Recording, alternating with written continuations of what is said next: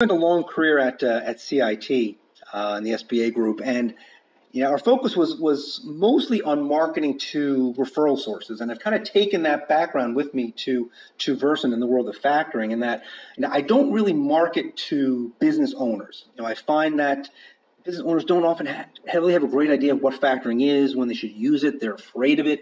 So my focus is always on marketing to their advisors, their trusted specialists. So all my efforts are getting in front of and speaking with bankers and attorneys and consultants and coaches and all those people that help small businesses get through their challenges so that when one of their challenges could be met by factoring, they could recommend what I do. And so that I'm, I'm getting an introduction to a, a customer or prospect um, who already has some endorsement of, of me and what I do. And that's something I've taken with me to Versant is really strictly focused on marketing what we do to intermediaries, to the advisors of businesses.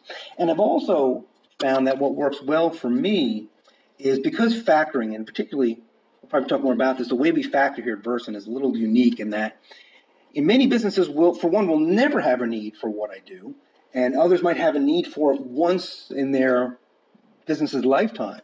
So I find I need to have a, a wide, a broad network of referral sources uh, in order to, to, to have a, the deal flow come in. So I've, I've always tried to maintain a very large database of contacts and, and do what I can to poke them regularly through email marketing, through social media use, of, particularly of LinkedIn, just to stay visible among that large group of referral sources and that's worked well for me.